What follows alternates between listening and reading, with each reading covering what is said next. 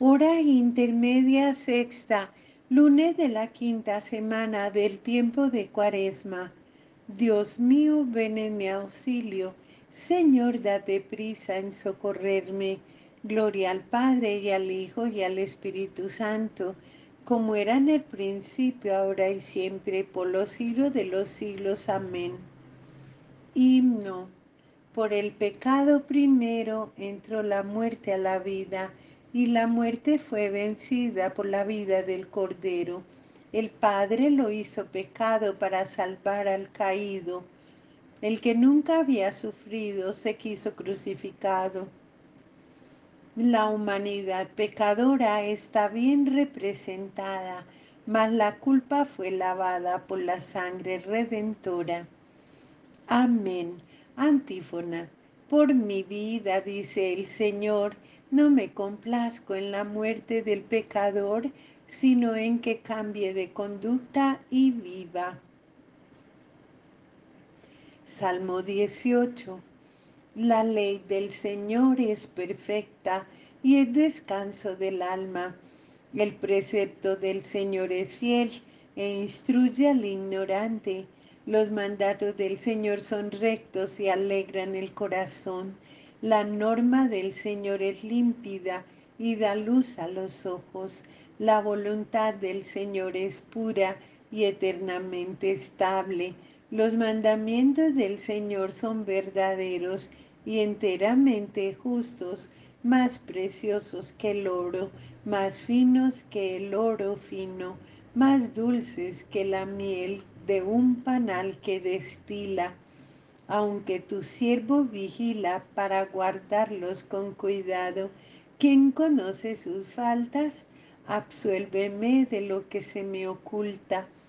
Preserva a tu siervo de la arrogancia, para que no me domine, así quedaré libre e inocente del gran pecado.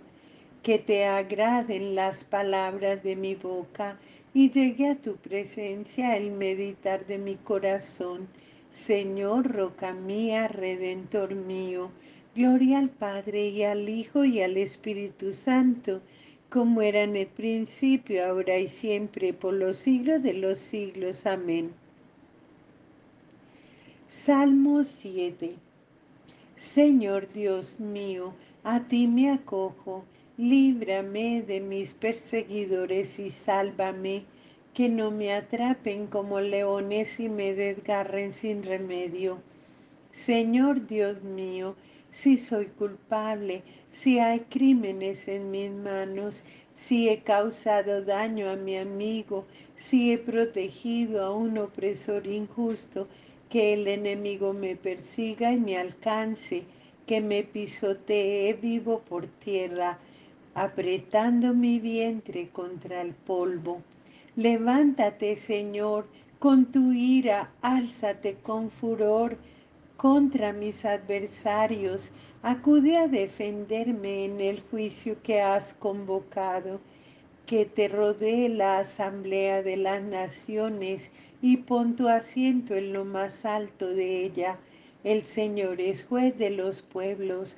Júzgame, Señor, según mi justicia según la inocencia que hay en mí. Cese la maldad de los culpables y apoya tú al inocente, tú que sondeas el corazón y las entrañas, tú el Dios justo. Gloria al Padre y al Hijo y al Espíritu Santo, como era en el principio, ahora y siempre, por los siglos de los siglos. Amén. Mi escudo es Dios que salva a los rectos de corazón. Dios es un juez justo. Dios amenaza cada día. Si no se convierten, afilará su espada, tensará el arco y apuntará. Apunta sus armas mortíferas, prepara sus flechas incendiarias. Mirad, el enemigo concibió el crimen está preñado de maldad y da luz al engaño. Cavó y ahondó una fosa, caiga en la fosa que hizo, recaiga su maldad sobre su cabeza, baje su violencia sobre su cráneo. Yo daré gracias al Señor por su justicia, tañendo para el nombre del Señor Altísimo. Gloria al Padre y al Hijo y al Espíritu Santo, como era en el principio, ahora y siempre, por los siglos de los siglos. Amén. Por mi vida, dice el Señor, no me complazco en la muerte del pecador, sino en que cambie de conducta y viva. Lectura del libro de Jeremías. Acuérdate de cómo estuve en tu presencia intercediendo en su favor para apartar de ellos tu enojo. Aparta de mi pecado tu vista, borra en mí toda culpa.